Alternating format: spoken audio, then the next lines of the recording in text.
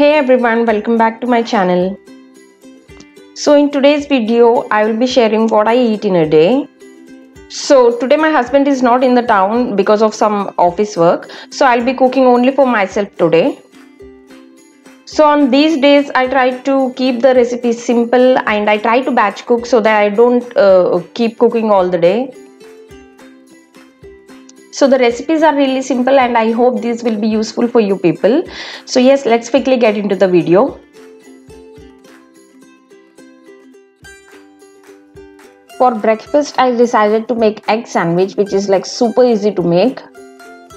So I'm starting it with boiling the eggs. I have like took two eggs and I'm gonna put it in a vessel and boil it for straight 8 or 10 minutes. So on the other hand i need some onion and chilies to go with. So i'm gonna chop them.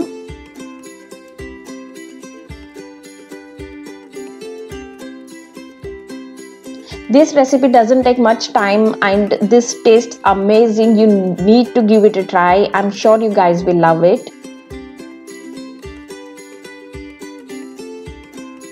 I usually start my mornings with a warm drink uh, with a piece of lemon in it or uh, some chia seeds, something like that. But today I didn't feel like having anything, so I just uh, had plain water. And here eggs are perfectly boiled, I think, so I'm gonna turn off the heat. And I left the eggs in the cool water so that it will be more easier to remove the cells. And this is one of my favorite job to do when I'm making egg sandwiches.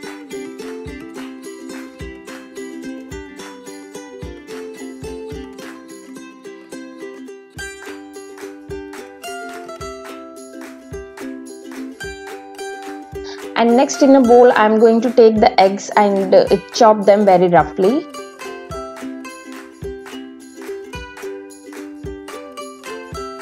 We can also grate the eggs or uh, simply we can use a fork and uh, uh, mash it a little bit very roughly but I like it this way sandwiches are like my go-to recipes. I love sandwiches. I can like have it anytime. I can have it daily without getting bored. So this is for the filling of the sandwiches. So once we are done with chopping eggs next i'm gonna add in chopped onions and green chilies and half tablespoon of black pepper next I'm gonna add in salt and some red chili flakes and oregano. According to your taste you guys can like alter the seasoning.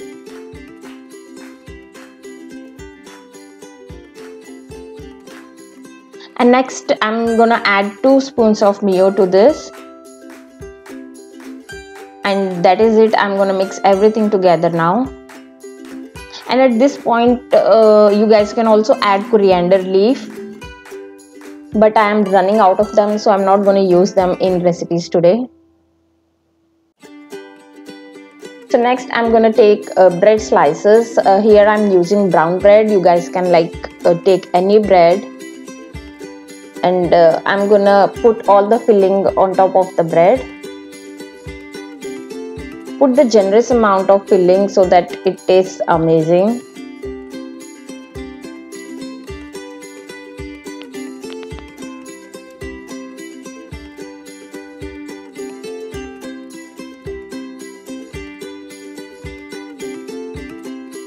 and here the tawa is hot so i'm going to place the sandwiches on the tawa and i'm using ghee for the uh, greasing so just it takes two minutes to slightly toast it. Once it changes the color we need to take it out.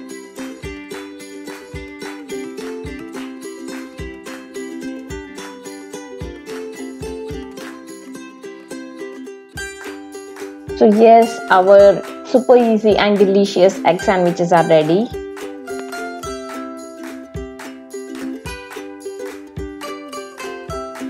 look at this this looks yum. So today i feel like having some uh, drink with it. So i decided to make uh, banana milkshake. So for that in a jar i'm adding one banana and uh, one tablespoon of chia seeds. And then i'm adding jaggery powder here two spoons of jaggery powder. You guys can also add sugar and some milk. So the milk is very thick. So i'm gonna add little water to this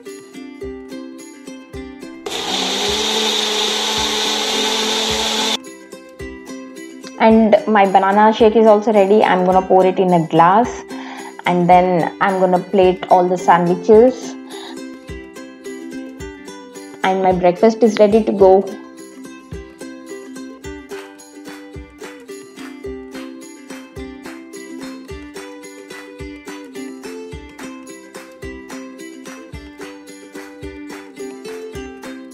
and for lunch I have soaked some uh, black chana and uh, now I'm putting it in a pressure cooker and I'm gonna boil it for 10 to 15 minutes.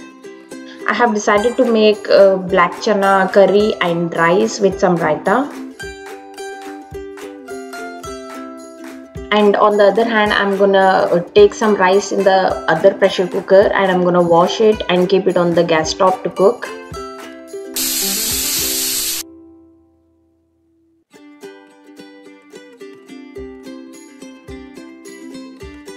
and here to make the curry. I need uh, two onions and two tomatoes. And I'm gonna uh, chop them with this chopper. So I roughly chop the onions. I'm gonna add it to the chopper. This chopper makes the work really easy on the other days i mostly like roast all the onions and uh, tomato and then make a paste out of it. Uh, but today i'm just cooking for myself so i'm just gonna chop it very fine and add it into the curry. Even that tastes really amazing. And look at this within no time this is how finely it is chopped. Next i'm gonna do the same with the tomatoes as well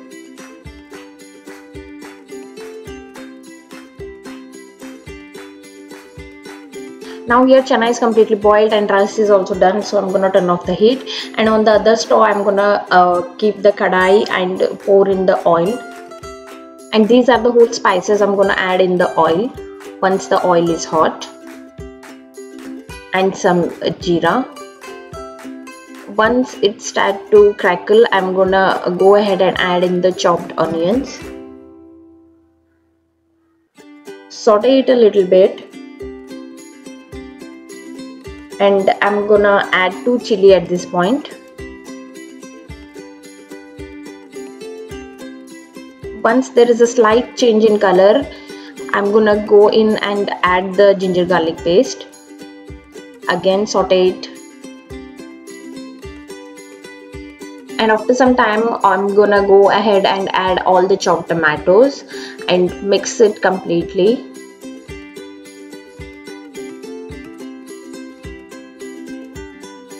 and next I'm to add all the spices like salt, turmeric powder, red chili powder and some chana masala. Give everything a good mix and let this fry for a few minutes and after some time I'm gonna uh, go ahead and add some uh, curd. You guys can skip it if you don't want to. So the masala is perfectly done now. So at this point I'm gonna add all the boiled chana and some salt to it. And again I'm gonna give a good mix to everything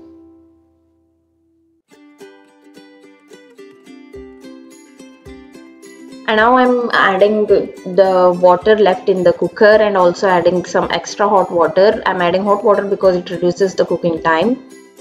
And just mix everything and I will allow this to cook for another 10 minutes. So here for raita I have grated half uh, carrot, some onion, cucumber and green chili. So in a bowl I'm gonna add everything onion, cucumber and grated carrot and green chilies and next I'm going to add in the curd I also added some salt and jeera powder to this but uh, वो clip पता नहीं कहीं पे miss हो गया है so make sure to add that as well and here uh, curry is also completely done so I'm gonna turn off the heat and with that my simple and easy lunch is also ready.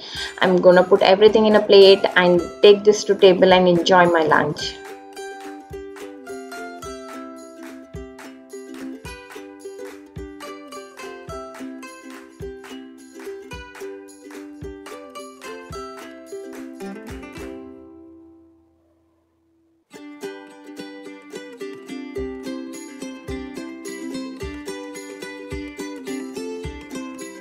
For dinner I have decided to make paneer paratha. So this is homemade paneer which I made yesterday and kept it in fridge.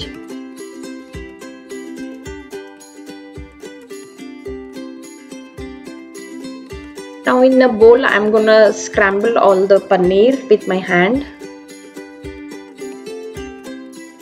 So this is perfectly done now. Next I'm gonna chop some onion and tomatoes. Uh, most of the days what I do I simply grate the paneer and then I will add in all this uh, chili and uh, uh, onion seasoning everything. But today I'm gonna make it like a burji and then I will uh, put the filling and make paratha. So for that I'm gonna take a pan and I will add in some oil and some jeera seeds and then I'll drop in all the onions.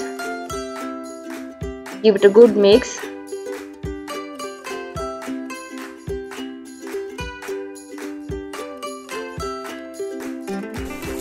Once it's little fried then I'll go ahead and add the tomatoes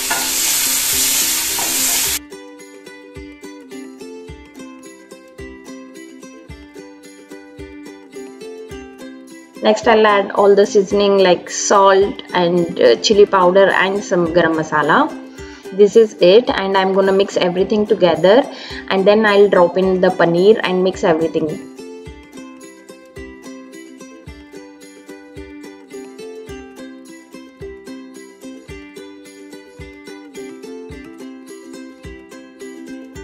so yes this is it. This is how it looks. And at this point we can add chopped corianders. But as I told before I don't have them right now. So I will just transfer this in a bowl and allow this to rest for some time. And next my dough is ready to make uh, parathas. So I'm just gonna take uh, some dry atta and start rolling the uh, dough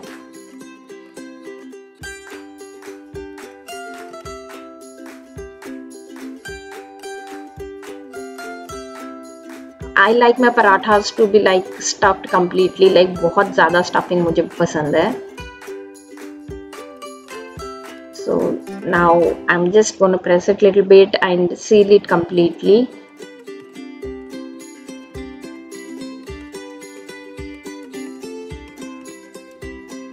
so we need to be little careful while uh, rolling this because I have like put in a good amount of stuffing. So there are possibilities that it will come out. So very gently I need to roll this.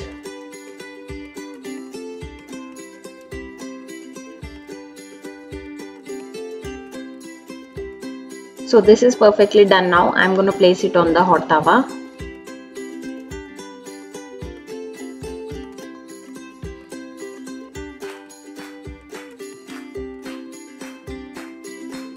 I'm gonna dazzle one or two teaspoon of oil on it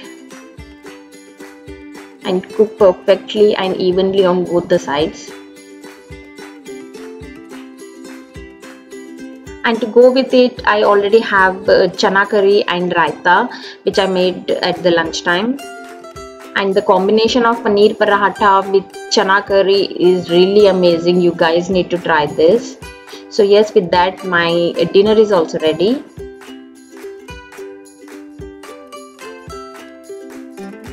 So yes this is it in today's video. I hope you guys like the video. If you like it please give it a big thumbs up. And do not forget to subscribe to my channel. And i will see you in the next video. Bye bye